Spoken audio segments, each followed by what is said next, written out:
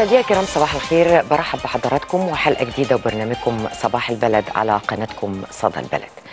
طبعا بنبتدي حلقتنا وبنبتدي يومنا بمتابعة آه، مع كل التطورات اللي بتشهدها الساحة الفلسطينية اولا بأول. في البداية عايزين نأكد على نقطة في غاية الأهمية. إن القضية الفلسطينية هي على رأس أولويات القيادة السياسية. مصر بتبذل جهود كبيرة على مدار الساعة على كافة الأصعدة من أجل إيجاد حل للأزمة الفلسطينية. وعايز أقول أيضا لحضراتكم أن السيد الرئيس عبد الفتاح السيسي بيتلقى آه العديد من الاتصالات الدولية وذلك كان بالأمس فقط. كل اتصالات لمناقشة وبحث آخر التطورات على الساحة الفلسطينية. هنلاقي إن السيد الرئيس تلقى آه، اتصالا من ارسولا فوندر لاين رئيسة المفوضية الأوروبية. الاتصال تناول تطورات التصعيد العسكري الإسرائيلي في غزة وأيضا تم استعراض الجهود الجارية لإدخال أكبر قدر من المساعدات الإنسانية لأهالي غزة وده في ضوء الوضع الإنساني المتدهور في القطاع. رئيسة المفوضية الأوروبية أرسولا فوندر لاين أعربت عن تقديرها لمصر على دورها القيادي في تقديم الدعم لأهالي غزة خلال هذه الظروف الصعبة. وأيضا تسهيل خروج أعداد من الرعاية الأجانب بالقطاع. السيد الرئيس أكد أن الجهود المكثفة اللي بتقوم بها مصر لتنسيق الإغاثة الإنسانية الدولية ليست بديلا عن ضرورة الوقف الفوري لإطلاق النار. وشدد السيد الرئيس على المسؤولية السياسية والأخلاقية للمجتمع الدولي عن التحرك الجاد والفاعل لحماية المدنيين الفلسطينيين ووقف سياسات العقاب الجماعي. وأكد الرئيس في هذا السياق رفض مصر القاطع لتصفية القضية الفلسطينية دون حل عادل من خلال تهجير الفلسطينيين من قطاع غزة إلى مصر وضرورة العمل على التهدئة بما يتيح المجال أمام فتح المسار السياسي وصولا إلى حل الدولتين والذي يمثل الطريق الوحيد نحو السلام العادل والدائم في المنطقة. واستمرار لتلك الاتصالات السيد الرئيس تلقى آه أيضا اتصالا من جاستن ترودو رئيس الوزراء الكندي. آه رئيس الوزراء الكندي كان عنده حرص كبير على تبادل الرؤى مع الرئيس بشأن تطورات التصعيد العسكري الإسرائيلي في قطاع غزة. والحقيقة السيد الرئيس دايما بيؤكد على حاجة مهمة جدا وهي يعني في كل اتصالاته أو في كل لقاءاته بنلاقي إن السيد الرئيس في نقطة في غاية الأهمية دايما بيطرحها وهي ضرورة الوقف الفوري لإطلاق النار إنهاء المعاناة الإنسانية غير المسبوقة لأهالي غزة أيضا آه، كان هناك آه، وضع إطار أو أبرز السيد الرئيس الجهود المصرية لتقديم وتنسيق المعونات لأهالي القطاع والتواصل المكثف مع كافة الأطراف لتذليل العقبات أمام وصول المساعدات دون إعاقة. لما السيد الرئيس بيقول دون إعاقة يعني معنى كده لازم حضراتكم تبقوا واخدين بالكم إن هناك إعاقة وإعاقة كبيرة ومصر بتحاول تذلل هذه الإعاقات وبتحاول إنها تدخل المساعدات وتدخل الشاحنات وتضمن وصولها لمحتاجين هذه المساعدات بالفعل. وهذا ما ثمنه رئيس الوزراء الكندي اللي أكد استعداد بلاده لتعزيز الإسهام في جهود الإغاثة الإنسانية.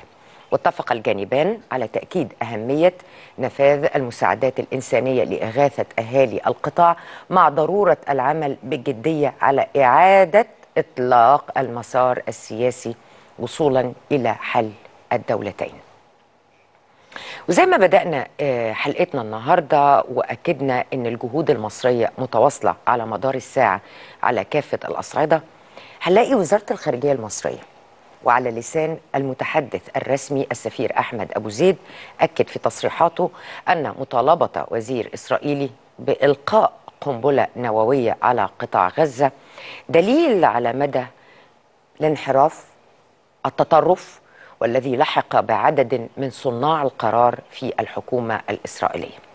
وطالب أبو زيد المجتمع الدولي التصدي بحسم لخطاب العنف والكراهية والعنصرية. موضحا أن العالم يتحدث عن نزع السلاح النووي ومخاطره وهناك البعض المتعطش للمزيد من الدمار والقتل. من ساعة موضوع القنبلة النووية اللي قالها وزير التراث الإسرائيلي والموضوع ده حديث الساعة في العالم. طب إيه بقى قصة القنبلة النووية؟ امبارح لقينا تصريحات لوزير التراث الإسرائيلي أميخاي إلياهو وأكد فيها إن جيش الاحتلال يفكر في إسقاط قنبلة نووية في غزة. التصريح ده من وزير التراث الإسرائيلي اللي هو أميخاي إلياهو لأن أنا ليه بقول اسمه تاني؟ لأن اسمه آه هيتقال في التاريخ كتير لأنه هو خلينا نقول إليخاي آه إلياهو هو أول من كشف عن وجه إسرائيل الإجرامي والإرهابي. وكشف إن هذا الكيان لا يحترم قوانين دولية ولا إنسانية.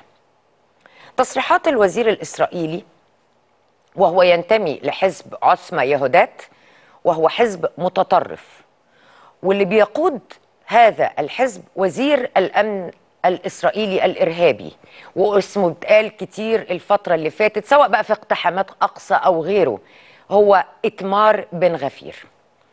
إتمار بن غفير هو اللي دعا لتسليح المستوطنين والقضاء على كل ما هو فلسطيني في الأراضي المحتلة. طبعا أنت متخيل تسليح الف... الإسرائيليين والقضاء على كل فلسطيني ده هيعمل إيه؟ ده هيزيد من الاحتقان؟ ومن التصعيد بين الفلسطينيين والإسرائيليين. الوزير الإسرائيلي المتطرف بقى إلياهو ده آه أميخاي إلياهو آه أيضا آه أعرب عن اعتراضه. اعتراضه على إيه؟ يعني هتسمعوا الجملة دي وهتستغربوا جدا عشان تعرفوا هما بيفكروا إزاي. اعتراضه على السماح بأي مساعدات إنسانية بدخول غزة. وقال آه السيد أميخاي إلياهو وافتكروا الاسم ده كويس لأن الاسم ده هيفضل يتم تردده كتير لأنه آه هو عنده تصريحات وعنده أفكار وأعتقد إن الأفكار دي من الحكومة الإسرائيلية هو ما بيقولهاش من فراغ. قال إيه بقى؟ قال لن نسلم المساعدات الإنسانية للنازيين. متهما أنه لا يوجد شيء اسمه مدنيين غير متورطين في غزة. طيب التصريحات دي يعني أنا بقول إيه؟ كنت قلت إيه في البداية؟ قلت إن السيد الرئيس لما اتكلم مع جاستن ترودو كان بيقول له إحنا بنحاول نوصل المساعدات برغم العوائق التي نقابلها. ودي تصريح الرئيس ال ال الوزير الإسرائيلي.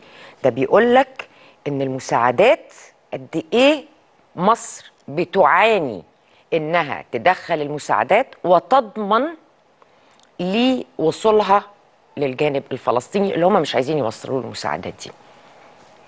قبل ما أسيب النقطة بتاعت القنبلة النووية اللي قال عليها آه اميخاي إلياهو في خبر النهارده آه برضو كل وكالات الأنباء وكل الناس بتتكلم عليه اللي هو وصول الغواصة النووية الأمريكية من طراز أوهايو إلى الشرق الأوسط. شايف التنسيق اللي بيحصل؟ يعني امبارح أميخاي إلياهو يقول كده والنهارده الغواصة الأمريكية أوهايو وهي غواصة نووية. وصلت الشرق الأوسط. هل النية مبيتة؟ هل هناك تخطيط ما؟ وده اللي هيخليني أنتقل للجانب الأمريكي. لأن وزير الخارجية الأمريكي أنتوني بلينكن قال إنه ناقش في رام الله مستقبل غزة والضفة الغربية. وأوضح إن الجميع يرحب بالهدنة الإنسانية في قطاع غزة. وأضاف وزير الخارجية الأمريكي خلال المؤتمر إن الولايات المتحدة تعمل بجد لضمان عدم امتداد الصراع خارج غزة. خارج غزة أعتقد إن هو بيرمي على جنوب لبنان وشمال إسرائيل. لكن الواضح إنه هم بيقولوا حاجة والنية حاجة بدليل انه أوهايو الغواصة النووية الأمريكية وصلت الشرق الأوسط بعد تصريحات أميخاي إلياهو. أنتوني بلينكن تابع نحن منخرطون بشكل يسمح بإيصال المساعدات للمدنيين. والهدنة الإنسانية تعزز إعادة المحتجزين في قطاع غزة. أنا عايزة بس أقول حاجة على تصريحات وزير الخارجية الأمريكي أنتوني بلينكن. أنتوني بلينكن في المؤتمر اللي كان مع وزراء الخارجية المجموعة العربية اللي عقد في الأردن مع أمين سر اللجنة منظمة الفتح الفلسطينية كان بيقول هو غير موافق على وقف إطلاق النار. هم لغاية هذه اللحظة هم مش موافقين على وقف إطلاق النار. لأن هو بيقول لك ده هيدي لحماس الفرصة إنها تستعيد قواها وإنها تنظم نفسها وإنه وانه وانه وانه وانه هم كل اللي بيتكلموا على عشان نبقى واضحين الهدنة الإنسانية هم عايزينها لإيه؟ بتعزز إعادة المحتجزين في قطاع غزة. هو ده الهدف. هو ده الهدف. لكن الهدنة الإنسانية بقت مطلب دولي. وده اللي أكده آه، مسؤوله. 18 وكالة تابعة للأمم المتحدة بيطالبوا بوقف فوري لإطلاق النار في غزة. والسماح بدخول المزيد من المساعدات.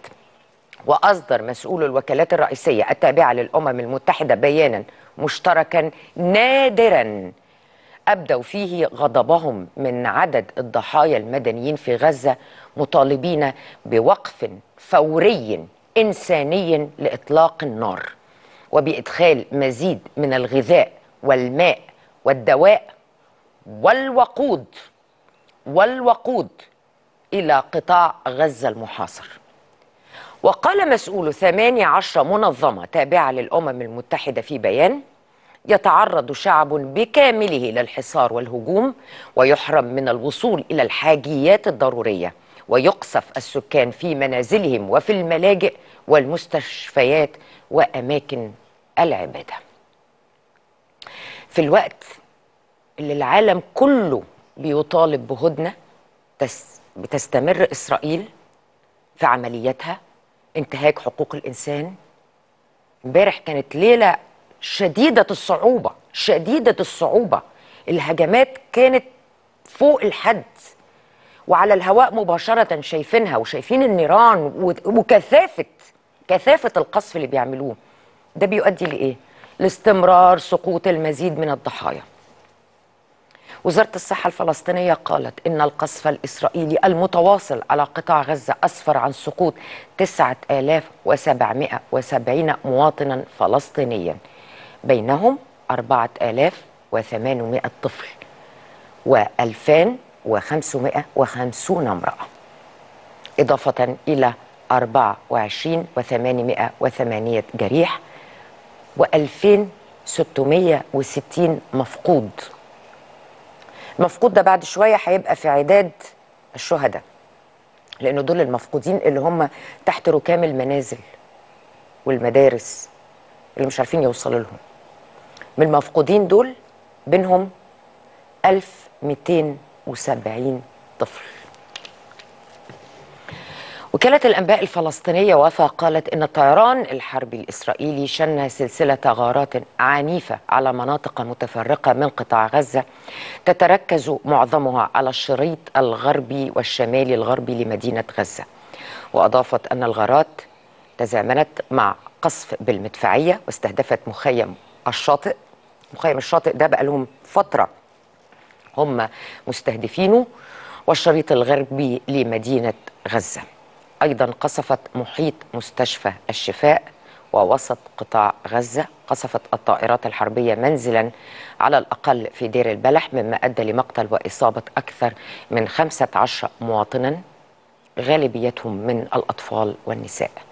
كما شنت عدة غارات أيضا على شرق مخيم البريج ومخيم المغازي.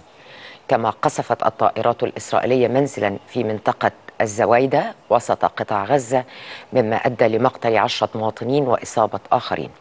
ونقلت وفاء عن مصادر محلية بأن الطائرات الحربية قصفت منزلا في تل السلطان غرب مدينة رفح مما أدى إلى مقتل وإصابة عدد من المواطنين. واللي بيؤكد استمرار العمليات الإسرائيلية ما أعلنه الجيش الإسرائيلي أنه شن مساء الأحد ضربات كبيرة ستتواصل في الأيام المقبلة على قطاع غزة لافتا إلى أنه قسم القطاع المحاصر إلى شطرين. على فكرة على فكرة قسم القطاع المحاصر إلى شطرين دي مش حاجة جديدة ده هو بقاله فترة قدر إن هو يخلي قطاع غزة جزئين منفصلين عن بعض. وأكد متحدث باسم الجيش دانيال هاغاريين ضربات كبيرة تشن وستتواصل في الأيام المقبلة. وأكد أيضا أن القوات الإسرائيلية اللي بتنفذ عمليات برية في القطاع قسمته إلى شطرين جنوب غزة وشمال غزة. فوق ده وده امبارح كمان إنه تم للمرة الثالثة قطع الاتصالات والإنترنت. أنا عايز أسألكوا سؤال. هو في وصف نقدر نقوله؟ طلعوا أي قاموس أي معجم أي كتاب يقول لنا إذا كنا عايزين نوصف الوضع اللي بيحصل والوضع الحالي نوصفه بإيه؟ ابعتوا لنا وقولوا لنا لو تقدر توصف هذا الوضع تقول عليه إيه؟ فاصل. صباح الخير على حضراتكم مرة تانية. أه الحقيقة أنه مازال طوفان الأقصى صوته يعلو منذ البداية ومهما طالت المدة سنظل نتحدث عن فلسطين لأن فلسطين كانت وستصبح وستظل فلسطين. كل يوم بنعيشه بنستنى اللحظة اللي هنسمع فيها كلمة النصر بنستنى اللحظة اللي هنسمع فيها إخواتكم ما بقوش يموتوا.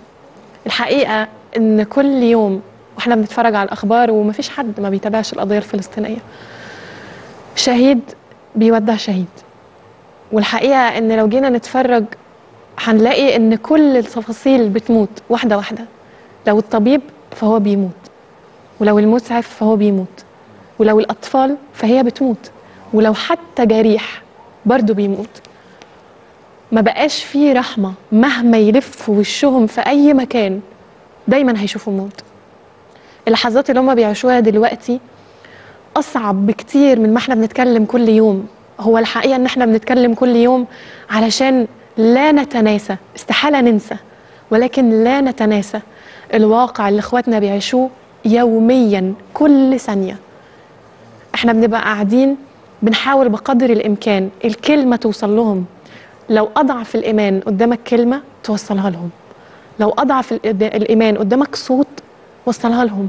لأن هم في احتياج إن يحسوا إن الناس معاهم وسامعاهم. لو عندهم لحظات بيفتحوا الموبايل محتاجين يحسوا إن إحنا موجودين إحنا معاكم وفي ظهركم على قدر الإمكان. لا أحد يزايد على أي مواطن مصري في حبه للقضية الفلسطينية ولا أحد يزايد ابدا على موقف مصر فيما يحدث الآن بخصوص القضية الفلسطينية. وهفضل أقول القضية الفلسطينية عقيدة من وإحنا صغيرين. وما زدناش أي حاجة من اللي بيحصل دلوقتي غير إن الأجيال الجديدة تتمسك أكتر. فتحوا عيون العالم كله. يعني إيه القضية الفلسطينية؟ يعني إيه في أرض أهلها بيدافعوا عنها لآخر نفس وهيفضلوا يدافعوا عنها لآخر نفس. ويمكن ده درس كل يوم بني آدم جديد في العالم بيتعلمه. يعني إيه نمسك في وطننا؟ ويعني إيه نقول الحمد لله ونصبر على أي ابتلاء ربنا سبحانه وتعالى بيحطنا فيه. خليني بقى دلوقتي أقول لحضراتكم أهم وآخر الأخبار على الساحة الفلسطينية. ده من خلال أول فقرة إن شاء الله هنتناولها النهارده على مدار اليوم والحقيقة إن هيكون في قراءة لاهم وأبرز العناوين ومنشطات الصحف والمواقع الإلكترونية. هنتناول بالتحليل مجموعة من الأخبار والملفات المهمة. هيكون معانا دكتور غادة جابر الكاتبة والباحثة للعلوم السياسية. دي أول فقرة معانا النهارده. فقرتنا الثانية هنتكلم فيها عن دور الدولة في الحفاظ على الأراضي الزراعية وتنمية الثروة الحيوانية لتحقيق الأمن الغذائي. وهيكون معنا في هذه الفقرة دكتور حسام سلام عضو لجنة الدعم الفني والمتابعة وزارة الزراعة. أما فقرتنا الأخيرة زي ما حضراتكم متعودين هنتكلم فيها عن حاجة طبية وهنتكلم بالتحديد عن أمراض الذكورة. هيكون معنا دكتور ياسين الفي استشاري جراحة الذكورة وعقم الرجال. دي ملامح فقراتنا كده النهارده. خليني بقى دلوقتي كده أقول لكم نروح نتفرج على الأجندة الثقافية والفنية. لو أي حد عنده أي وقت يقدر يعرف من خلالها ممكن يروح فين النهارده.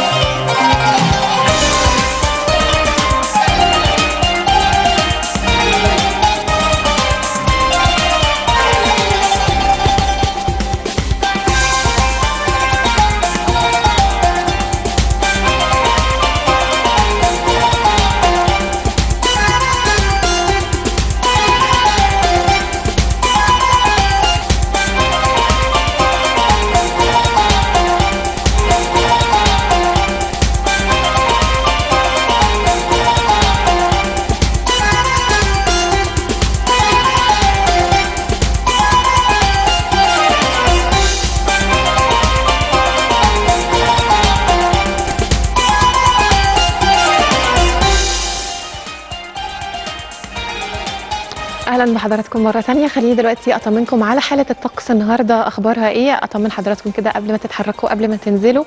النهارده أخبار الجو إيه؟ يتوقع خبراء الأرصاد الجوية ظهور شبورة مائية كثيفة على بعض الطرق الزراعية وأيضا القرى والمسطحات المائية المؤدية من وإلى مناطق القاهرة الكبرى والوجه البحري والسواحل الشمالية ومدن القناة ووسط سيناء وشمال الصعيد ومدن القناة وأيضا كل ما يخص بخط الصعيد. وتصل لحد الضباب على بعض المناطق. فخلوا بالكم كده أرجوكم وحضراتكم بتتحركوا لو في شبورة ارجوكم بلاش يبقى في سرعة في الطريق ربنا يحفظ طريقكم دايما. آه يسود طقس حار نهارا على القاهرة الكبرى والوجه البحري وشمال الصعيد. مائل للحرارة على السواحل الشمالية الشرقية وشديد الحرارة على جنوب الصعيد. لطيف في أول الليل مائل للبرودة في آخره على شمال البلاد حتى شمال الصعيد. لطيف على جنوب سيناء وجنوب الصعيد. وخليني دلوقتي أقول لحضراتكم درجات الحرارة المتوقعة في بعض محافظات الجمهورية والبداية مع القاهرة.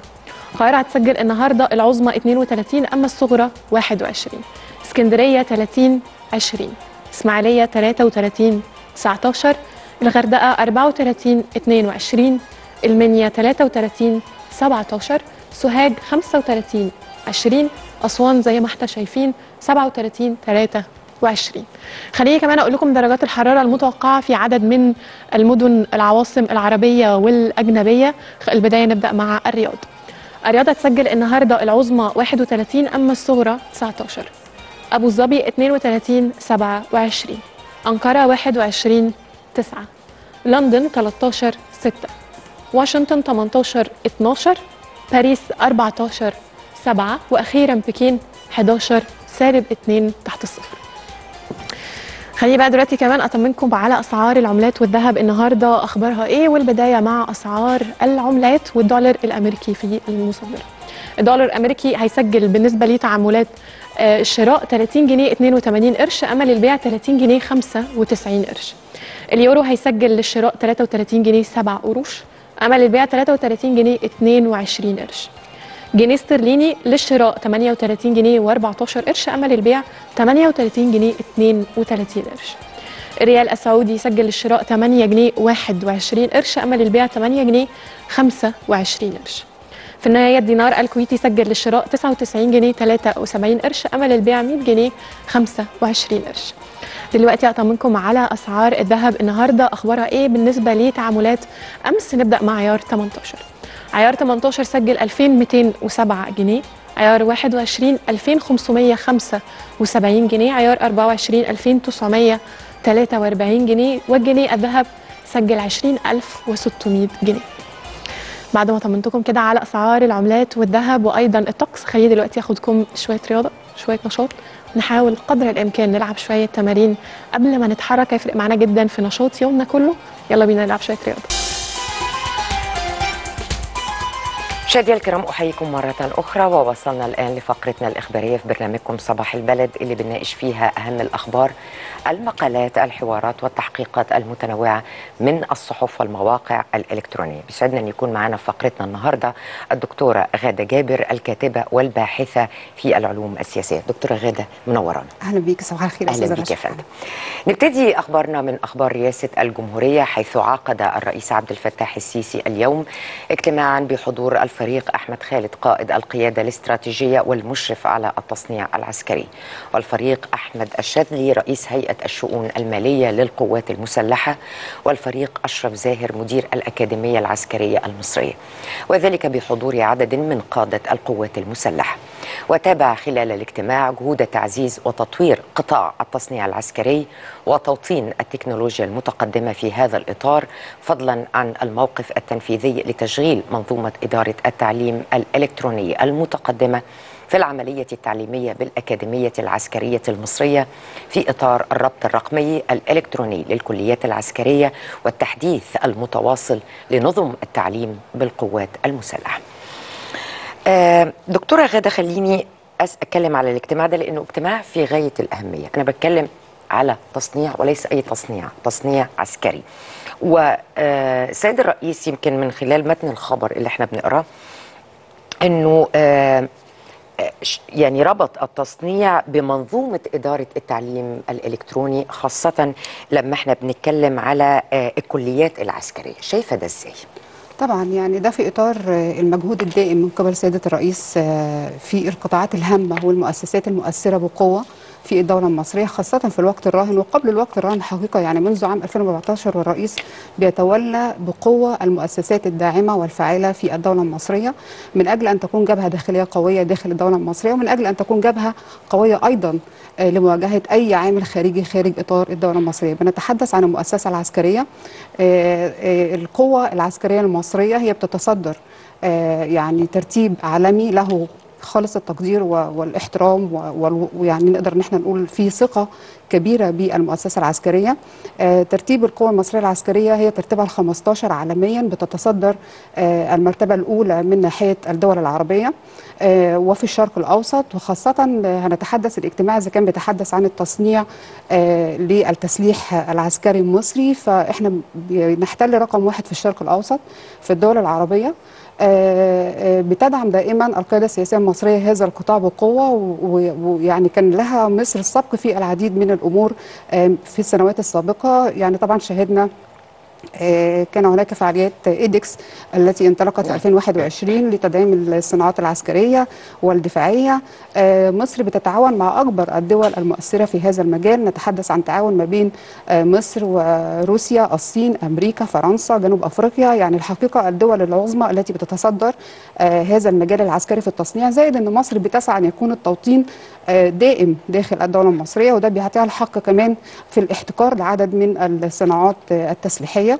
نحن نتعد... نت... يعني نتحدث عن مجالات كثيرة في التسليح سواء معدات ثقيلة أو معدات أخرى متنوعة ما بين الذخيرة والدبابات والمشاة. الحقيقة العديد من الأسلحة المصرح بها دوليا بتعمل مصر عليها بقوة وداعمة لها في الأساس. وإحنا عارفين إن المؤسسة العسكرية هي المؤسسة الأولى التي بتدعم الوجود القوي لمصر في الشرق الأوسط وفي أفريقيا وبين العالم وأصبحت مصر فعلا لها ثقل دوليا وبين العالم عن طريق ثقل ودعم الدائم للمؤسسة المؤسسة العسكرية المصرية وأيضا هنتكلم عن التوطين التكنولوجي والتعلم عن بعد ما بين المؤسسات والهيئات العسكرية وده شيء مهم جدا وخاصة إن الدولة بتتجه دائما إلى التحول الرقمي في كل المجالات وطبعا من أهم هذه المجالات هو التعاون تعليم. طبعا التعليم ما بين الأكاديمية العسكرية والمؤسسات العسكرية وده شيء فيه كثير من الإبداع والإضافة للتطور الدائم بتسعى عليه القيادة السياسية المصرية وطبعا مهم جدا للمؤسسة العسكرية. صحيح. أنتقل إلى موضوع آخر حيث ترأس الدكتور مصطفى مدبولي رئيس مجلس الوزراء أمس بحضور الفريق مهندس كامل الوزير وزير النقل مائدة مستديرة جمعت ممثلي ما يزيد على 20 شركة من كبريات الشركات العالمية المتخصصة في مجال النقل واللوجستيك. واللوجستيات والملاحة البحرية وذلك على هامش فعاليات المعرض والمؤتمر الدولي للنقل الذكي والبنية التحتية واللوجستيات للشرق الأوسط وأفريقيا الذي تنظمه وزارة النقل تحت عنوان توطين صناعة وسائل النقل في مصر. وأعرب رئيس الوزراء عن تقديره للشراكة الحالية القائمة بين الدولة المصرية وكبريات شركات النقل واللوجستيات العالمية مؤكدا أن هذه الشراكة أسهمت في تحقيق طفرة كبيرة في قطاع النقل مشيرا إلى أن ما يتم بذله من جهود في هذا القطاع غير مسبوق وأن قطاع النقل في مصر مستقبل واعد. وأضاف الدكتور مصطفى مدبولي أن الهدف من اجتماع أمس هو مناقشة مشروعات الشركات العالمية التي حضرت الاجتماع في إطار رؤية الدولة المصرية لتوطين صناعة جميع وسائل النقل في مصر موضحا أن مشروعات البنية التحتية الضخمة التي يتم تنفيذها في مصر تشجع هذه الشركات لاتخاذ خطوات جدية نحو توطين الصناعات والتي يعملون بها كما أن وجود مصر في قلب الشرق الأوسط واعتبارها بوابة للقارة الأفريقية وتوقيعها العديد من اتفاقيات التجارة الحرة مع الكثير من الدول والتكتلات الإقليمية والدولية تمنح هذه الصناعات المحتملة فرصا كبيرة للتصدير بمزايا تفضيلية. آه خليني أتكلم إحنا كنا لسه بنتكلم على توطين التكنولوجيا أنا هنا بقى عايزة أتكلم على توطين الصناعة ومجال النقل محدش فينا ما يقدرش يتكلم طبعاً. على الطفرة اللي حصلت في مجال طبعاً. النقل لكن لما بتكلم على مجال النقل وتطوير مجال النقل أنا ما بتكلمش بقى على تطوير عادي إن أنا بستورد وبعمل لا أنا بتكلم على توطين آه الحكومة أخذت إجراءات لتشجيع الشركات العالمية على توطين هذه الصناعات خاصة في النقل. شايفة الإجراءات اللي عملتها الحكومة هل يسرت وإدت دفع لهذا المجال لكي يكون بهذا الشكل؟ وهنشوف لسه بعد كده كمان. آه طبعا آه، اولا إحنا بنتكلم عن قطاع يعني شهد طفرة على المستوى العالمي يعني أصبحت مصر بتحتل المركز الثامن عشر يعني رقم 18 عالميا في قطاع الطرق والنقل. وطبعا ده قطاع مهم جدا لجذب الاستثمارات داخل الدولة المصرية. بنية تحتية قوية شهدتها الدولة المصرية بتعمل قيادة سياسية بجد وقوة في هذا الملف منذ عام 2014 والحقيقة شهد في الحقيقة طفرة يعني يشهد لها العالم صحيح. إلى أن أصبحت بتحتل مرتبة عالمية. آه، طبعا ده بيتم عن طريق التعاون ما بين الدولة المصرية والحكومات أو المؤسسات الحكومية مع القطاع الخاص. وده أمر مهم جدا علشان يكون في تطوير ودعم دائم ما بين يعني وتعاون ما بين القطاعات المختلفة داخل الدولة لأن الدولة هيكون مسارها أو مسار القطاعات الأخرى لازم يكون موازي لمسار التنمية اللي بتسعى ليه دائما الدولة المصرية. إحنا بننفذ التنمية المستدامة 2030 رغم كل الصعوبات اللي بتواجه آه، والتحديات اللي بتواجه القيادة السياسية المصرية. آه، طبعا قطاع النقل آه، بالتعاون مع شركات متعددة تم ذكرها في هذا ال- آه، اللقاء ما بين آه، دولة رئيس الوزراء وعدد من الشركات الداعمة للصناعة الوطنية وأيضا الشركات آه، آه، المختلفة خارج الدولة المصرية. يعني أصبح هناك تعاون دولي في هذا الأمر. وده بيدي دعم قوي للطرق وشبكة الطرق وطبعا إحنا شهدنا تطور كبير في شبكة الطرق والأنفاق والكباري والحقيقة دي بنية قوية آه، بتدعم جذب الاستثمار وبتدعم إنشاء العديد من المشاريع وتوطين الصناعة. ده أمر مهم جدا لجذب الاستثمارات الخارجية. وبدل ما كان التعاون مع الشركة مجرد تعاون أو استيراد لا أصبح هناك توطين حقيقي داخل الدولة المصرية. ده طبعا بيوفر آه، عمالة بيوفر عملة بيوفر الكثير من الأمور والموارد المهمة للدولة المصرية بجانب إن بيكون في استغلال أمثل للموارد المتاحة داخل الدولة المصرية. وبيكون ده أيضا بيسعى لإنشاء مصانع وشركات بتدعم الصناعة المصرية وبتدعم العماله المصرية وده في حد ذاته في الآخر بي يعني بيكون ليه نهائي آه، إضافة قوية للناتج الإجمالي والناتج المحلي والدخل القومي المصري. الحقيقة قطاع آه، النقل والطرق والكباري والأنفاق في مصر شهد طفرة كبيرة جدا وده هيساعدنا كمان حتى في المواصلات كمان. يعني لو طبعاً. هنتكلم على آه، المترو المترو والسكة الحديد. السكة الحديد يعني آه، كلهم شهدوا طفرات رائعة يعني طبعا دي حقيقة نعم. وبيشعر بها المواطن قبل صحيح. ما يشعر بها العالم أو يكون شكل مصر حضاري أكتر لكن فعلا المواطن حتى اللي بي... اللي معاه عربية ما بيركبش مواصلات بيشكر في الطرق وإن قد إيه الطرق الجديدة سهلت عليه المواصلات وسهلت عليه التنقل وبقى في اختصار كبير للوقت والمجهود وطبعا ده بيوفر الطاقة الحقيقة أبعاد كبيرة جدا لشبكة الطرق الواسعة والضخمة اللي أنشأتها الدولة المصرية آه، بيشهد لها العالم بيشهد لها المواطن المصري بتشهد لها الشركات العالمية. أصبحت جذب قوي للاستثمار داخل الدولة المصرية. ده بيوفر عمالة بيوفر عملة صعبة بيوفر استغلال أمثل للموارد المتاحة داخل الدولة المصرية.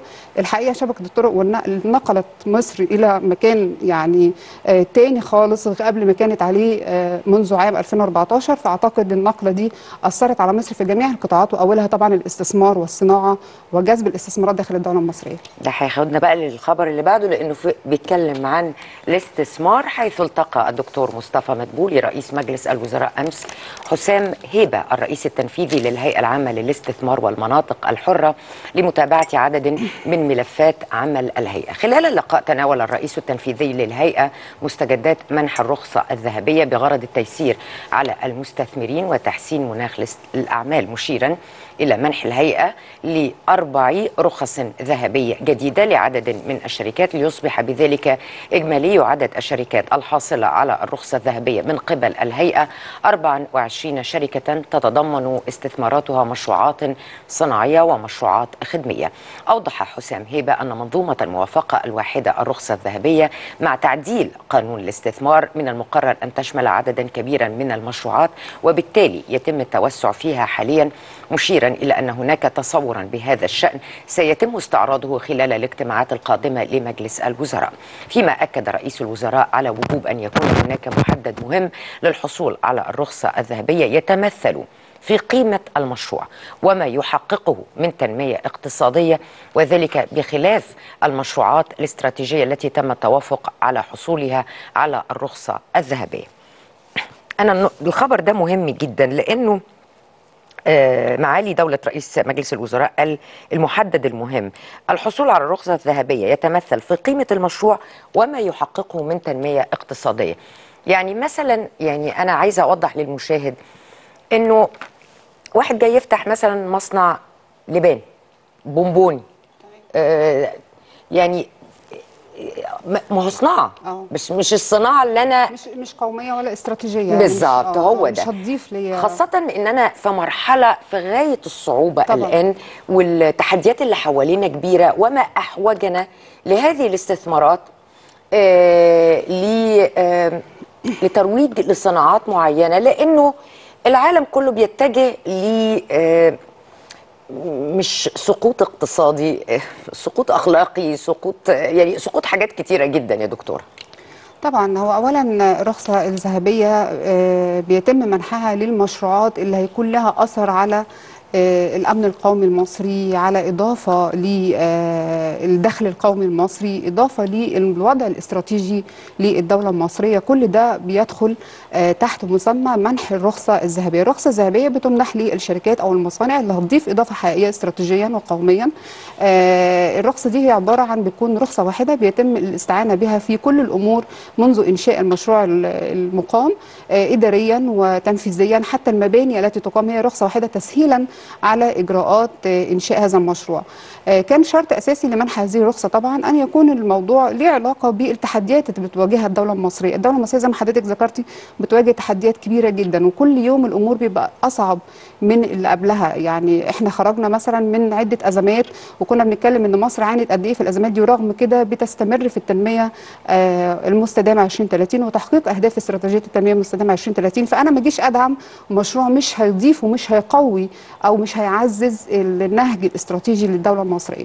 إحنا بنتكلم عن مشروعات تخص البنية التحتية آه، تخص الطاقة النظيفة تخص الإنتاج استغلال الموارد المتاحة يكون في عمالة آه، يستغل العمالة المتوفرة في الدولة المصرية يكون في إضافة حقيقية للناتج القومي والناتج الإجمالي للدولة المصرية ال- المشروع ده يكون هيخفف عليا عبء آه، الاحتياج إلى العملة الصعبة أو حتى زي ما بنقول الدولار الأمريكي إن أنا يكون عندي ال- المشروع ده هيضيف لي إضافة حقيقية يكون في جذب للاستثمار الحقيقي هيكون في جذب للشركات العاملة آه، بالتعاون طبعا مع الشركات آه، على مجال واسع الدولة المصرية بتتعاون مع جميع الدول وهناك شراكات استراتيجية مع جميع الدول في خاصة في الأمور الصناعية والتجارية والتجارة الحرة.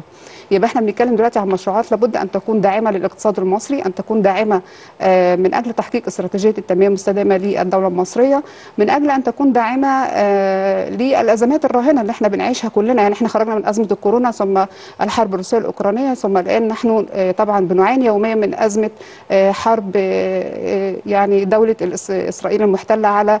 الدولة الفلسطينية. فيعني الحقيقة مصر محاطة بعدد كبير من المخاطر طبعا بالإضافة إلى المشاكل القائمة بالفعل ما بين يعني نقدر المحيط الجغرافي أو الوضع الإقليمي للدولة المصرية. في عدد كبير من الدول العربية محاطة للدولة المصرية. يبقى أنا لما بتكلم عن مشروع بتدعمه الدولة المصرية بتسهل عليه آه، إجراءات من أجل الاستثمار من أجل يعني منح آه، بتخفف عبء على كاهل هذه المشاريع. لابد أن تكون هذه المشاريع لها إضافة قوية آه، على التخطيط الاستراتيجي وداعم ومتضافر مع جهود الدولة المصرية من أجل البناء والتنمية رغم كل هذه التحديات. صحيح. طيب آه، أروح لخبر آخر حيث صرح السفير أحمد أبو زيد المتحدث الرسمي باسم وزارة الخارجية بأن سامح شكري وزير الخارجية استقبل أمس سيندي ماكين المدير التنفيذي لبرنامج الغذاء العالمي.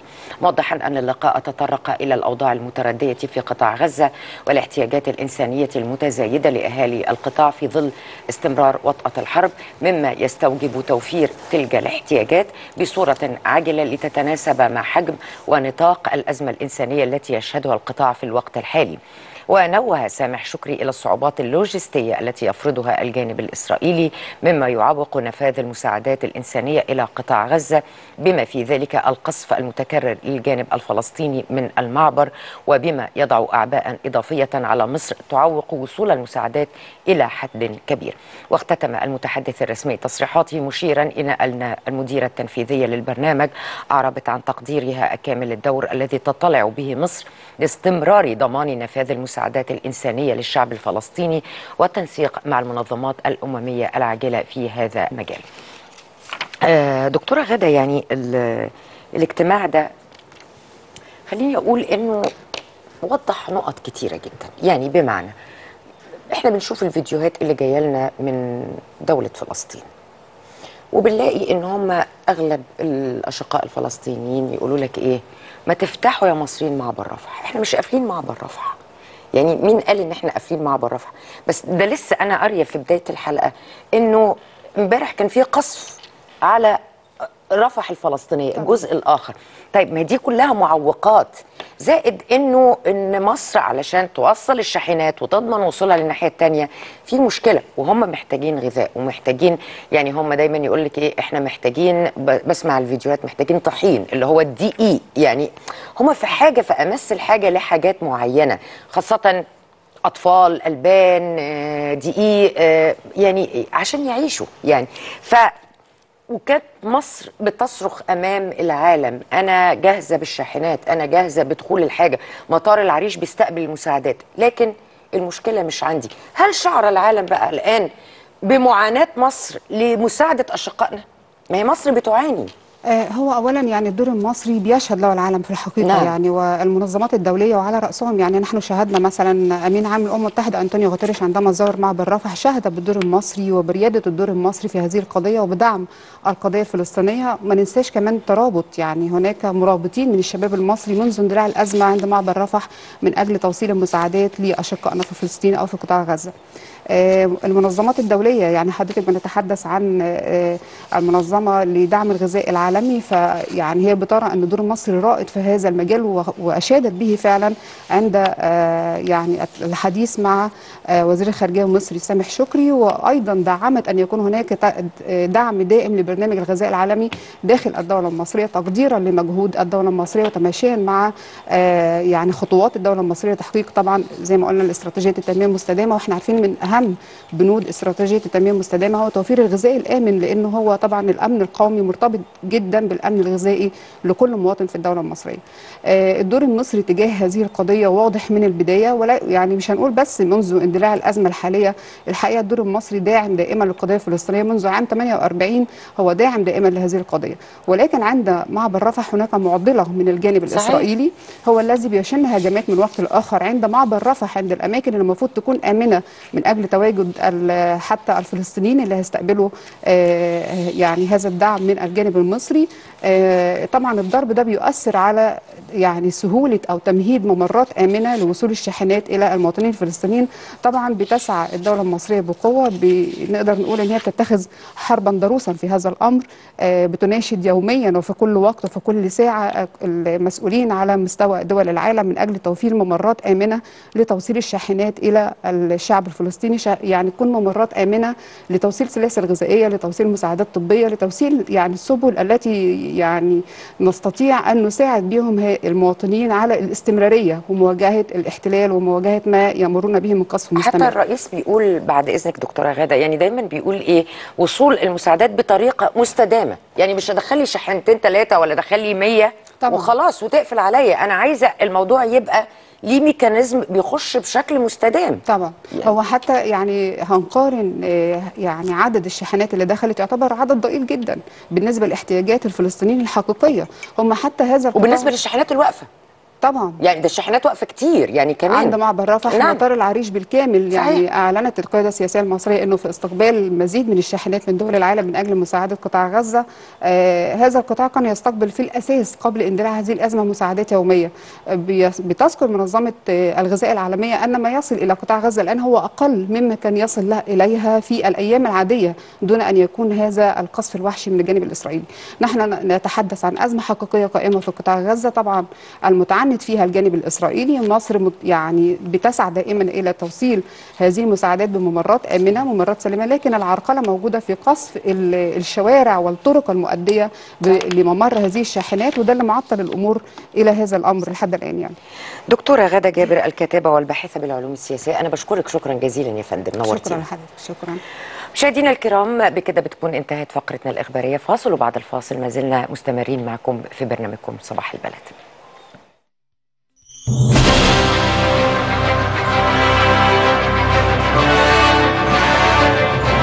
في ضوء ما تقدمه الدولة المصرية من تسهيلات لجذب استثمارات أجنبية وقيام بعض العلامات التجارية العالمية بإنشاء مصانع لها داخل مصر قام اليوم المهندس أحمد الجندي مدير شركة هاير مصر وبحضور وفد صيني وممثلين لهيئة الاستثمار المصرية بعقد مؤتمر احتفلوا خلاله بانتهاء المرحلة الأساسية للمرحلة الأولى من المجمع الصناعي لشركة هاير مصر حيث تنشئ شركة هاير العالمية مجمعا صناعيا بمدينة العاشر من رمضان ويعد هو أول مجمع صناعي صديق للبيئة في مصر يقام على مساحة 200 ألف متر مربع.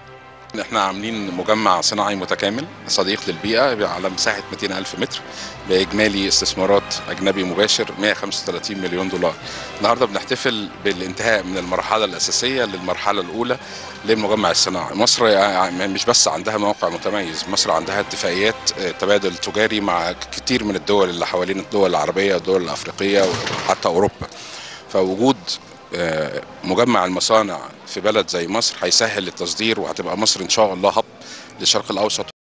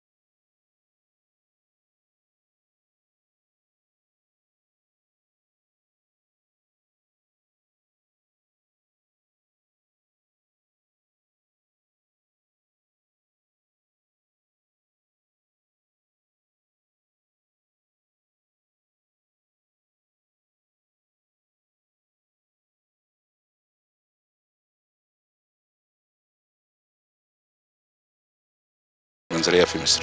إن شاء الله مخططين بدء الإنتاج الكمي إن شاء الله الربع الأولاني آه، 2024 السنة الجاية يعني كمان كام شهر بإذن الله.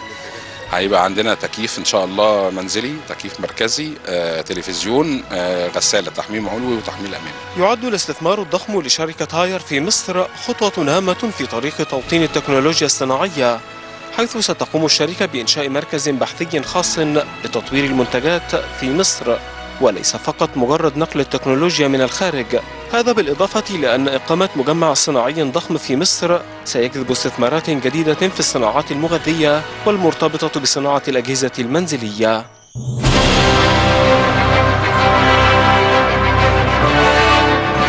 محمود حافظ صباح البلد.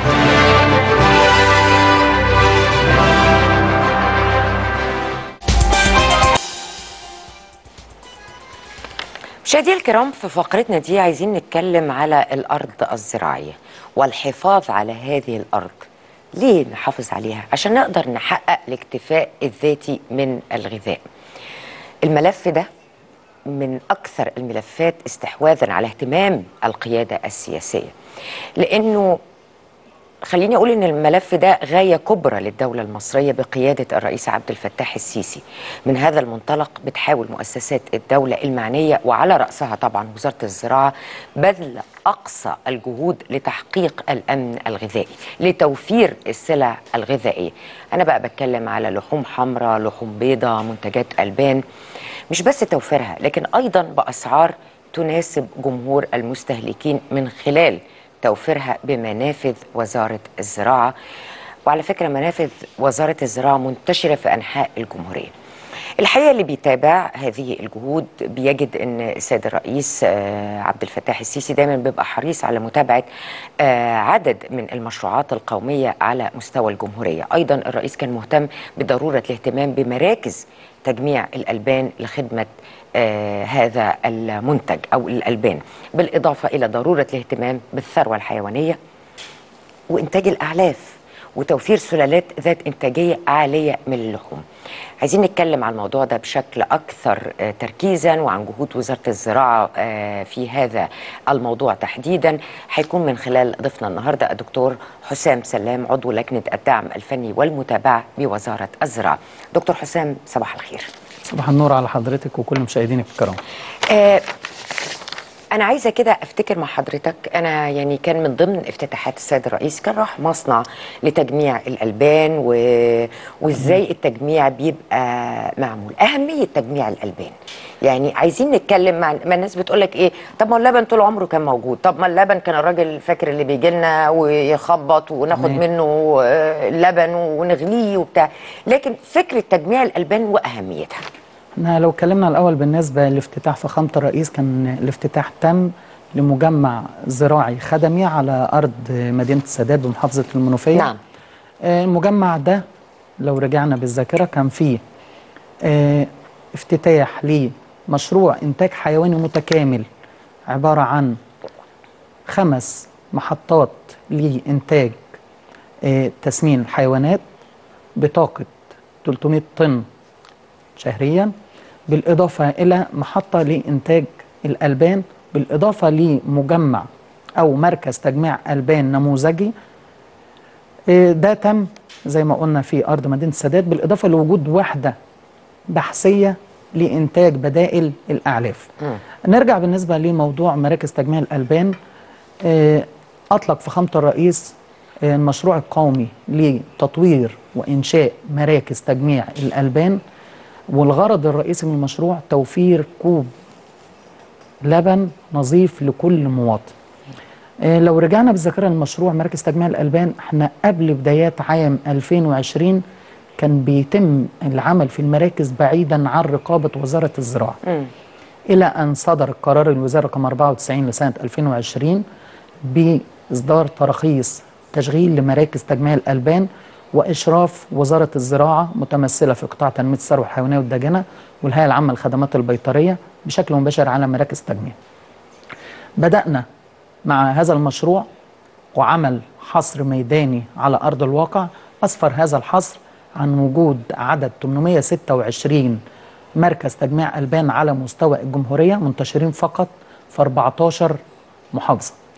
وكانت بداية الخطة للمشروع القومي لتطوير وإنشاء مراكز تجميع الألبان كمرحلة أولى تطوير وإنشاء عدد 205 مركز تجميع ألبان على مستوى الجمهورية. ال 800 وحاجة مركز دول يتبعوا وزارة الصحة وزارة الزراعة أيضا؟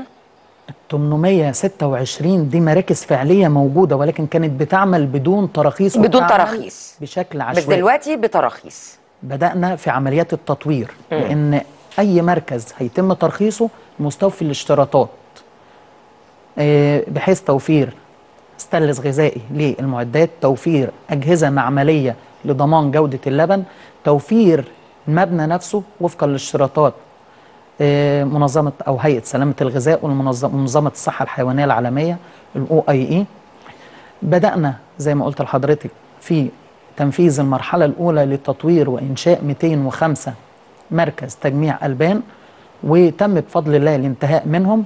ووصلنا في الوقت الحالي لتطوير وإنشاء عدد 282 مركز تجميع ألبان على مستوى الجمهورية. نعم. طب دكتور حسام لما بتكلم على تجميع ألبان وتوفير الألبان وحضرتك قلت كلمة مهمة كوب لبن لكل مواطن. طبعا في اليوم. نظيف. نظيف. في اليوم.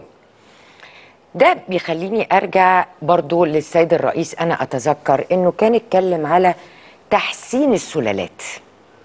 ده هيخليني أنقل إيه الجهود اللي عملتها الوزارة لتحسين السلالات؟ تمام هو فيه ربط في المشاريع ولكن بس نستوضح بالنسبة لمراكز تجميع الألبان لأن منظومة مراكز تجميع الألبان لا تقتصر فقط على تجميع اللبن ولكن بيتم متابعة المربي قبل عمليات التجميع بيتم كشف قبل استلام الألبان للتأكد من خلوها من الأمراض المشتركة وخاصة السل والبروسيل. وفي حالة ثبوت أن في بعض أمراض لدى المربين بيتم التعامل معها وبيتم تعويض المربين بشكل كامل آه، مشروع أو تطوير مراكز تجميع الألبان تم بناء على خريطة تمركز ماشية آه، اللبن في مصر وتم إنشاء مراكز في الأماكن المفتقرة لوجود مراكز أيضا تم إنشاء 41 مركز ضمن المبادرة الرئاسية. حياة كريمة للتكامل ما بين المشاريع. حياة كريمة ومشاريع الثروة الحيوانية. ده قادنا إن إحنا نبدأ في خطة التحسين الوراثي. وخطة التحسين الوراثي وتأصيل التحسين وت- الوراثي اللي هو تحسين السلالات اللي أنا بقول لك عليه. أيوه آه. وتأصيل سلالات عالية الإنتاجية من الألبان واللحوم. ده دلوقتي بدأنا نتحرك على أرض الواقع فيه من خلال عدة محاور. كان أحد هذه المحاور توفير قصيبات السائل المنوي لسلالات عالية الإنتاجية ودمجها مع السلالات المحلية لتحسين السلالات المحلية. وبدأنا على أرض الواقع فعليا من خلال تحسين الجاموس المصري بتهجينه مع الجاموس الإيطالي. وده رفع معايا معدلات الإنتاجية لأن كان عندي إنتاجية الجاموس المصري كانت لا تتجاوز من 7 ل 10 كيلو يوميا مع تحسين 7 ل 10 كيلو إيه؟ لبن يوميا. لبن. مم. وصلنا مع عمليات التحسين لكميات إنتاج بتتراوح من 15 ل 25 كيلو. ده في حد ذاته زود من معدلات ربحية المربي. ده كمرحلة عمليات التحسين. المرحلة الثانية من خلال توفير مراكز تجميع الألبان داخل قرى مبادرة حياة كريمة بدأنا توفير سلالات عالية الإنتاجية من خلال عمل العديد من البروتوكولات ما بين وزارة الزراعة والعديد من الوزارات الأخرى وهيئات ومنظمات المجتمع المدني. بدأنا على أرض الواقع تنفيذ هذا المشروع كمرحلة أولى من خلال بروتوكول تم عمله مع جمعية الأوربان لتوزيع 100 راس ماشية عالية الإنتاجية من سلالة الهولشتاين داخل مركز اطسا بمحافظه الفيوم وبدأ بالفعل الإنتاج وبدأ الجيل الأول يجني ثماره من هذا المشروع. ومستمرين حاليا في عمليات تحسين. أيضا تم عمل بروتوكول ما بين وزارة الزراعة ووزارة التضامن الاجتماعي ووزارة الأوقاف. بتتحمل الوزارات الثلاثة ثلثي القيمة من توفير عجلات عشار عالية الإنتاجية وتوفير التغذية المناسبة لها وبيتحمل المواطن فقط تلت القيمة من خلال قرض من البنك الزراعي بفايدة متناقصة 5% ده حضرتك كده نقلتني على صغار المربين. أو العاملين في قطاع الثروة الحيوانية. المشاريع كلها بتعمل في اتجاهات أو في محاور أفقية مع بعض. ده مع حياة كريمة؟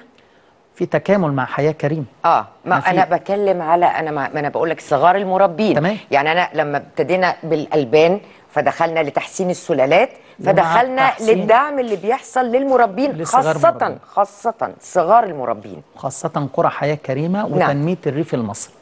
ده بادئين في كافة المحاور باتجاهات متوازية. نعم. مع توفير هذه الرؤوس بدأنا مرحلة أولى بتوفير أو توزيع عدد 108 راس في محافظات الجيزة والفيوم والشرقية وكفر الشيخ وجاري استكمال المرحلة الثانية في محافظات الشرقية محافظة البحيرة ومحافظة الجيزة ومحافظة بني سويف والمنيا. ده كمرحلة تانية تحت الدراسة. بيتم عمل دراسات فنية للمستفيدين للتأكد من وجود مكان مناسب وأيضا بيتم المتابعة الدورية وتقديم الندوات التوعوية والإرشادية لتنشيط وتوعية المربي بأهمية استخدام أو تربية السلالات عالية الإنتاجية. ده بيزود معدلات الربحية وفي نفس التوقيت بيدينا هامش ربح عالي للمربي وبيحسن من دخل الأسر الريفية. إن الغرض الرئيسي في مشروعات حياة كريمة تنمية الريف المصري وتحسين مستويات المعيشة ومستويات الدخل للمواطنين داخل هذه القرى. طب دكتور حسام أنت تعلم إن أسعار اللحوم الآن مرتفعة جدا يعني كلنا عارفين أسعار اللحوم بقت موجودة إزاي. هل مع استكمال هذا المشروع ممكن إن إحنا نلاقي إن أسعار اللحوم انخفضت بعد بعض الشيء عن المستهلك المصري. إحنا ممكن نرجع بالذاكرة لقبل عيد الأضحى المبارك وكانت أسعار اللحوم الحمراء مرتفعة. ولو رجعنا بالذاكرة هنلاقي إن أسعار اللحوم الحمراء رغم ارتفاع أسعار الأعلاف ووجود أزمات دولية وعالمية وخاصة إن معظم خامات الأعلاف بيتم استيرادها ومع ذلك أسعار اللحوم منخفضة ومتوفرة بأسعار تتناسب مع آه، محدود الدخل وبأسعار أقل من مثيلاتها بنسبة تصل ل 30% داخل منافذ وزارة الزراعة ومنافذ أمان ومنافذ جهاز مشروعات خدمة وطنية ومنافذ وزارة التموين. يعني إحنا بنتكلم الأسعار منخفضة. وكان من ضمن الأسباب اللي أثرت بشكل مباشر على انخفاض الأسعار أو ثباتها مشروع القومي لإحياء البتلو ده كان من ضمن المشاريع. على فكرة المشروع ده بقاله كتير قوي. المشروع ده بدأ ل- يعني المشروع بدأ من القومي- زمان قوي. هو كان بادئ من زمان وتوقف. آه. وبدأ تحديدا و- اطلاقه في عام و- 2017 وطلع قرار بعدم ذبح العجول. الصغيرة. موجود ومفعل وما زال مفعل مفعل آه ما, ما أنا ما أنا ما بشوفش بتلو. لا ما هو هو المشروع اسمه المشروع القومي إحياء البتلو. آه. المشروع في حد ذاته منع زي ما حضرتك بتتكلمي هو بدأ بتوجيهات من فخامة الرئيس في بداية عام 2017 بمخصصات مالية 100 مليون جنيه للمشروع ووصل حجم المخصصات في وقتنا الحالي ل 10 مليار جنيه. المشروع كان في المقام الأول بنعمل على عدة محاور من هذه المحاور اللي هو التوسع الرأسي. بمعنى إن كان بيتم قديما قبل تجريم عمليات الذبح ذبح الحيوانات على أوزان لا تزيد عن 100 كيلو. بتدي معايا نسبة تصافي من 30 ل 50 كيلو. أصبح ممنوع ذبح هذه الحيوانات إلا بعد الوصول للعمر أو الوزن التسويقي بمعنى إنها بتصل بحد أدنى ل 400 كيلو جرام. يعني ابتدي أذبح بعد ال 400 بعد ال 400 مم. طيب. ده مشروع جيد ونتمنى إن إحنا يعني نلاقي ده ال- المشروع ده أسهم معانا بشكل كبير جدا في زيادة نسبة اكتفائنا الذاتي من اللحوم الحمراء. من نسبة كانت قبل عام 2017 لا تتجاوز 40% لنسبة في الوقت الحالي تجاوزت ال 65 يعني إحنا دلوقتي عندنا 65% من اللحوم احتياجاتنا. من داخل مصر. اكمل لحضرتك بالنسبة لألبان الشرب. بسرعة اتفضلي. اتفضل بعد إذنك. ألبان الشرب إحنا عندنا اكتفاء ذاتي بنسب إنتاج تتجاوز ال 8.5 مليون طن.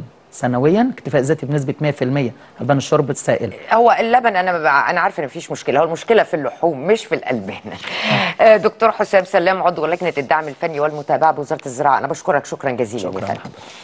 مشاهدينا الكرام فقرتنا انتهت لكن حلقتنا لسه ما انتهتش. بعد الفاصل إن شاء الله موعدكم مع الفقرة الطبية. انتظرونا.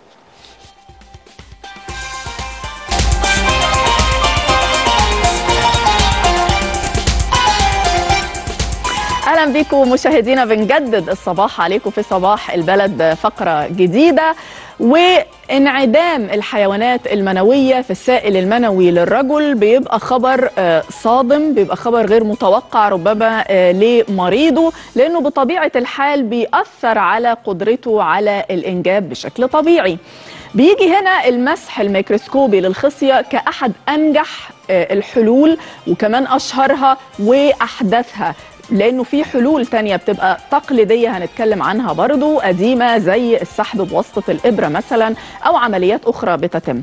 هنقرب أكتر من المسح الميكروسكوبي للخصية مع دكتور ياسين الفقي استشاري جراحة الذكورة والعقم والضعف الجنسي بمركز مصر للذكورة. أهلا بيك يا دكتور. أهلا بحضرتك أهلا وسهلا. آه صباح الخير. بداية آه آه هل في حاجة اسمها ممكن يبقى ما فيش حيوانات منوية خالص؟ يعني هل دي مشكلة موجودة؟ آه طبعا. نسبة كام كمان؟ آه المشكلة دي هي مشكلة للأسف إن هي ابتدت تنتشر وتظهر بشكل كبير جدا دلوقتي. يعني لو قلنا إن كل آه 8 رجالة ممكن نلاقي فيهم واحد ما عندوش حيوانات منوية. فدي نسبة كبيرة نسبة مش قليلة. آه كمان يمكن إحنا بنشوفها بشكل أكتر. يعني يمكن النسبة دي آه يمكن أنا أقدر أقول إن هي ابتدت النسبة دي تتغير وترتفع لفوق. ليه؟ لأن إحنا لو أقول لحضرتك إن آه عيادات ومراكز الذكورة 50% من الحالات اللي بتتعالج فيها من تأخر الإنجاب هي حالات انعدام حيوانات منوية. فهمتني؟ آه بس آه يعني بس. آه يعني نص الحالات اللي إحنا بنشوفها هي حالات انعدام للحيوانات المنوية. م- وده مش في مصر بس لا يعني نص الحالات اللي إحنا بنشوفها مثلا من كل الدول اللي بتجيلنا سواء الدول من الخليج العربي أو المغرب العربي أو بلاد في أفريقيا نصها فعلا حالات انعدام حيوانات منوية ومنتشر بشكل كبير جدا. وخصوصا يمكن نقول في العشر سنين اللي فاتوا لا نسبة أكبر وكتيرة جدا جدا جدا يعني. أنا أنا توقعت إن حضرتك تقول لي ده لا ما فيش حاجة اسمها كده أو لا لا النسبة لا بسيطة لا أو وفي تزايد وفي تزايد شديد كمان مش يا سلام. تزايد بسيط طب وإيه يعني. الأسباب اللي رصدتوها بالتالي يعني؟ طيب هقول لحضرتك هي الفكرة دلوقتي إن إحنا لما بيجي لنا مريض انعدام حيوانات منويه إحنا بنبتدي ندور على السبب المشكلة. فالسبب بيكون ما بين حاجة من اتنين يا إما سبب انسداد أو إن يكون آه، في خلل وظيفي في الخصيه يعني الخصيه نفسها هي اللي مش شغالة ايا كان سبب هي مش شغالة ليه. فبنبتدي رقم واحد لازم بناخد تاريخ مرضي من. من المريض يعني. هل عملت عمليات قبل كده؟ لأن في بعض الناس يكون عمل عملية مثلا يقول والله أنا عملت فتاء قبل كده عملت إنزال خصيه قبل كده. فدي حاجات آه، تقول لنا إن ده آه مريض ممكن يكون عنده آه، سبب انسداد مثلا لو عامل عمليات جراحية في منطقة العانة أو على الخصيتين آه، ممكن يسببوا له انعدام في الحيوانات المنوية. طيب هل جالك التهاب قبل كده؟ لأن في ناس كتيرة بيبقى معروف مثلا جاله وهو صغير التهاب بتاع الغدة النخافيه وامتد الالتهاب ده للخصيتين فده بيسبب مشاكل في الخصيتين تؤدي إلى انعدام الحيوانات المنوية. في ناس بنقوله هل البلوغ بتاعك تأخر ولا ما تأخرش؟ لأن المشاكل الهرمونية ومشاكل الغدة النخامية من الصغر بتأثر على نمو الخصيتين وعلى قدرتهم على تصنيع الحيوانات المنوية. فهو الأمر في البداية بنقدر إن إحنا نعرفه عن طريق إن أنا أفحص المريض اكلينيكيا وآخد منه تاريخ تاريخ مرضي وإن أنا آه، أعمل فحوصات. لأن الفحوصات هي اللي بتبين لي الأمر ده. يعني لو نيجي نقول مثلا إيه الفحوصات اللي هي المفروض إن إحنا بنعملها؟ رقم واحد إن أنا لازم أفحص المريض بتاعي آه، اكلينيكيا. أشوف حجم القصيه نفسه سليم ولا ضعيف لأن هو لو الحجم قليل هبقى عارف آه إن القصيه دي ممكن تكون الضعف فيها. دي مش موضوع انسداد. بفحص الحبل المنوي نفسه علشان أشوف هل في دوالي كبيرة موجودة على الخصيتين ممكن تؤدي إلى إنها تفقد وظيفتها في الإنتاج. هل الأنبوبة اللي بتنقل الحيوانات المنوية دي موجودة ولا مش موجودة؟ وهو إيه نطلب الصورة التلفزيونية بتاعتنا على الخصيتين وفحوصات الهرمونات لأن هما الحاجات دي بشكل دقيق اللي بتحطني أعرف والله الحالة دي ممكن أروح إن ده انسداد فأبتدي أدور الانسداد ده مكانه فين قابل للفك ولا مش قابل للفك؟ لأن في ناس كتيرة لو المكان ده قابل للفك بيتعمل عن طريق منظار آه، بسيط نفك الانسداد ويخلف طبيعي. طيب الحاجة التانية والأصعب والأكثر انتشارا أيوة. هي موضوع الخلل الوظيفي في الخصية إن هي الخصية نفسها هي اللي تبقى ضعيفة وكسلانة. هي دي بقى دي الحالة اللي إحنا بنعمل لها المسح الميكروسكوبي اللي جاي كلام حضرتك نتكلم عنه. بتدخلوا على طول على المسح الميكروسكوبي ولا ممكن تجربوا حاجات تقليدية زي اللي قلتها في المقدمة طيب هقول لحضرتك بقى. دلوقتي أنا لما بيجيني مريض آه، خلل وظيفي في الخصية أنا بعرفه إن هرمون ال F بتاعه عالي. حجم الخصيتين بتاعه من ضعيف إلى متوسط. ماشي. ممكن كمان أحيانا يبقى ال- الخصية نفسها حجمها كويس ولكن هرمون ال FSH وال LH بتاعه بتوعه عاليين مع تحليل سائل منوي مفيش فيه حيوانات منوية. طيب في ثلاث مدارس للطب في موضوع آه، انعدام الحيوانات المنوية. في دكاترة تيجي تقول والله إحنا هندخل نعمل مسح ميكروسكوبي للخصيه خلينا نتفق ان فكرة سحب بالإبرة أو عينة عادية الكلام ده كله اتلغى من الطب. في حالات الخلل الوظيفي في الخصية. دي قاعدة هنحطها من الأول. يا جماعة اللي عنده خلل وظيفي في الخصية لا يلجأ للسحب بالإبرة ولا يلجأ للعينة العادية اللي بدون الميكروسكوب. الموضوع انتهى وخصوصا للأسف إن ده منتشر جدا جدا جدا في بعض الأماكن اللي فيها آه، دكاترة ما فيش في إيديهم إمكانيات. يعني الدكاترة كلها عارفين إن لازم نعمل مسح ميكروسكوبي للخصية. من أصغرهم لأكبرهم عارفين إن دي حالة تفتيش بالميكروسكوب. تمام كده؟ تمام. طيب آه ولكن لما يبقى في مكان مش مجهز مكان ما فيهوش إمكانيات مكان مش قادر يوفر الإمكانيات كويسة مش قادر يوفر ميكروسكوب متطور فهيكون اللي في إيده إنه يعمل يا إما بالإبرة أو إنه يكون يعمل آه تفتيش ع- آه. أو بالتفتيش عادي عينة عادية. وكمان إن في ناس ما عندهمش التدريب الكافي أو مش مدربين على استخدام الميكروسكوب لأن استخدام الميكروسكوب ده مهارة ومش مدرب على عملية التفتيش بالميكروسكوب لأنه ما يقدرش مش عارف إيه هي البؤر المنوية اللي بيدور عليها مش عارف هو بيدور بيدور على إيه. دي عملية معقدة بتحتاج خبرة وخبرة تراكمية برضو من السنين وخبرة وإمكانيات. يعني خبرة الدكتور عارف هو بيدور على إيه وعارف يستعمل الميكروسكوب اللي معاه. طيب. آه. حتة بقى اللي حضرتك سألتيني عليها. أنتوا بتدخلوا على طول كده تعملوا تفتيش ميكروسكوبي صح؟ هي دي بقى اللي هشرحها لحضرتك. في ثلاث مدارس للطب. في مدرسة تقول والله إحنا بنعمل تفتيش ميكروسكوبي على طول ما بنديش علاج العلاج مش مفيد في الحالات دي. طيب آه، دي مشكلتها إن نسبة النجاح بتاعتها برضو محدودة. يعني نيجي نقول إن نسبة النجاح بتاعتها 20% فابتدى يظهر دكاترة بعد كده يجي يقولوا والله طب ما ال 20% دي أو ال 15% كمان عند بعض الدكاترة دي آه، حاجة قليلة جدا هل نقدر نزودها؟ اكتشفوا إن فعلا مع محاولة تنشيط الخصية وعلاجها نسبة النجاح بتتحسن وده اللي إحنا بنعمله بنعمله. أو ده كمان اللي إحنا ابتديناه يعني إحنا من أوائل الناس عالميا يعني ما عنديش شك في الموضوع ده عالميا. اللي وضعنا فكرة إن إحنا لازم نعالج حالات آه، الخلل الوظيفي في الخصيه قبل ما نلجأ للتفتيش الميكروسكوبي. عظيم. طيب إحنا بنعالج إزاي بقى؟ رقم واحد إن أنا بحاول أعرف إيه الحاجات اللي ممكن تحسن من وظيفة الخصيه طيب أنا دو دايما بدور هل الراجل ده عنده دوالي درجتها عالية؟ هل عنده خلل في الهرمونات؟ أصلحها. هل مثلا في سمنة أقول له خس شوية؟ هل بيدخن أقول له وقف التدخين؟ هل التغذية بتاعته مش كويسة؟ أصلحها له. الحاجات دي كلها لما بنعالجها قبل ما ان إحنا نلجأ للتفتيش الميكروسكوبي ليجي المفاجأة بقى إن عندنا في 20% من الحالات دي بتنتج حيوانات منوية في السائل المنوي. ما تحتاجش إن هي آه، تفتح الخصية. آه. يعني اتنين من كل عشرة. دي نفس نسبة الناس اللي فتحت الخصية ولقت حيوانات منوية فده من غير من غير ما يعمل تفتيش جوه الخصية أو حاجة لا ابتدت الخصية تستجيب وتنتج. لأن هي مش فكرة إن دي خصية ضعيفة خلاص مستحيل تنتج. ودي حاجة أنا هذكر فيها حالة صغيرة. الحالة دي معايا مثلا السنة دي.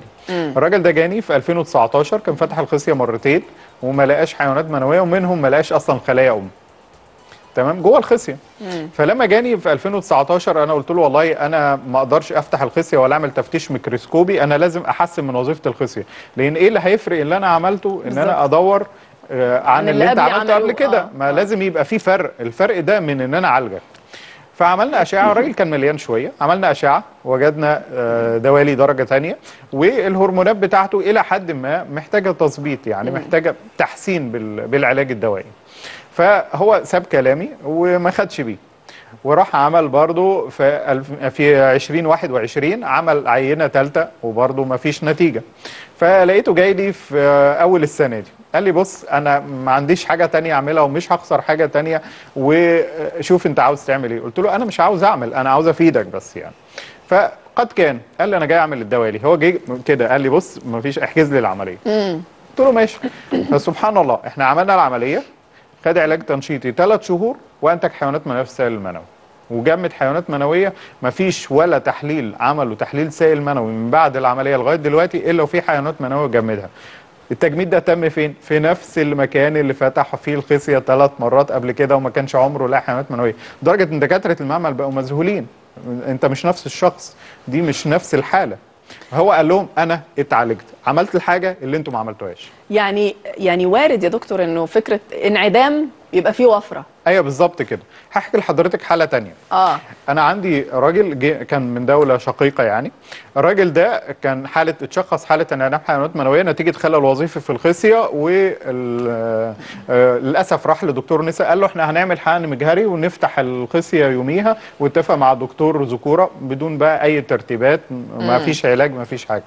فهو الراجل راح فعلا عمل آه، زوجته اتنشطت سحب البويضات يوميها عمل عينة من طلع اتنين حيوان منوي. ضعف. ضعاف التخصيب ما تمش ما كملش الحقن المجهري. جالي بعدها. الراجل أنا شفته الراجل عنده دوالي درجة ثالثه وعنده الهرمونات بتاعته كويسة. يعني لو اتنشط بالعلاج فرصته كويسة وحجم الخصية كويس. قلت له والله أنا مش هقدر أعمل أي حاجة غير إن أنا أعالج الخصية دي الأول. ما تكلمنيش إن إحنا نفتح الخصية تاني ومستعجل بقى. بيقولوا له والله أنت هت... كمان ثلاث شهور نفتح ونحاول تاني. قلت له لا مفيش فتح بعد ثلاث شهور. أنا لازم أعالجك. لازم نتعالج. واخد كان. الراجل عمل الدوالي خد علاج ثلاث شهور. أول تحليل طلع فيه 2 مليون ونص.